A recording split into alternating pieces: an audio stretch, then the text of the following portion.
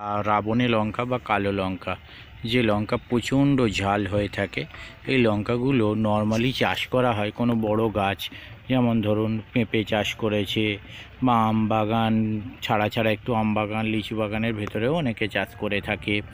বা পেঁপে জাতীয় এই ধরনের গাছ যত চাষ হয়, যাদের মাঝে ফাঁকা থাকে, সেখানে চাষ হয়। দেখুন, আপনারা দেখতে পাচ্ছেন কালো কালো পুরো লঙ্কা, অনেকে রাবণে লঙ্কা বলে।